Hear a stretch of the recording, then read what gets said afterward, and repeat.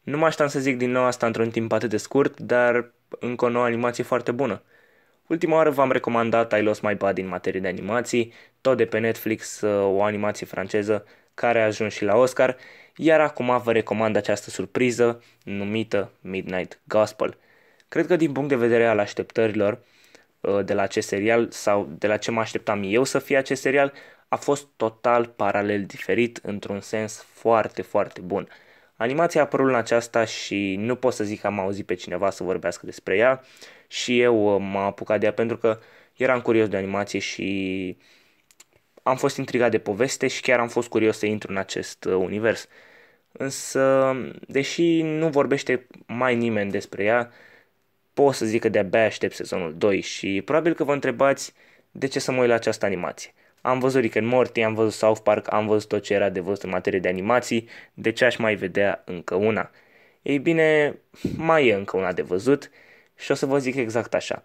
Dacă vă plac podcasturile și vă plac și animațiile, o să iubiți acest Midnight Gospel. Sunt 8 episoade de vreo 25 de minute, unele au chiar și 20, iar în fiecare episod intri într-o discuție la care trebuie să fii atent ca să nu te pierzi, iar la final te asigur că măcar un episod din cele 8 îți va da de gândit și de contemplat asupra vieții și de ce nu și asupra altor aspecte.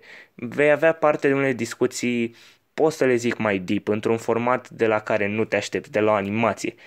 Și serialul nu se vrea altceva, știi exact ce este, lasă deoparte ce se întâmplă pe ecran și evident se axează extrem de mult pe dialog.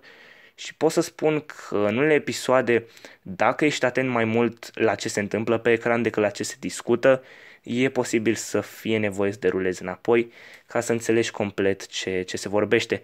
Pentru că dacă ești complet focusat și la acțiune și la dialog, e posibil ca undeva pe parcurs să te pierzi, pentru că și eu am realizat într-un episod uh, că eram atent mai mult la bara de subtitrare fără să procesez cu adevărat ce spuneau personajele, pentru că se și vorbește foarte rapid și se și schimbă subiectele destul de brusc.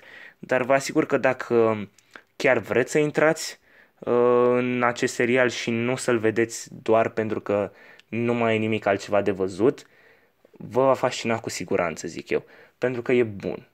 Chiar este bun și nu mi se pare că e genul acela de serial care se vrea inteligent doar de dragul de a fi inteligent, pentru că așa se zicea la un moment dat și despre Rick and Morty, însă nici Rick and Morty nu e genul ăla.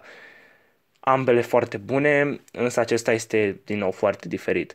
Uh, stilul de animație este atât de simplu, dar nu în sensul în care deranjează, pentru că de fapt nici nu contează cum arată această animație atâta timp cât nu se axează pe acest aspect iar pe mine m-a captivat. M-a captivat ideea unui personaj care călătorește în diferite lumi simulate, uh, SF fantasy și pur și simplu filmează, are un microfon pentru a intervieva diferite personaje, este filmat de niște drone și pur și simplu cu un microfon ajunge în diferite lumi și discută cu diferite personaje. Într-un episod chiar ajunge să vorbească și cu Lady Death iar în ultimul episod veți vedea, au vrut să încheie sezonul ceva mai emoționant.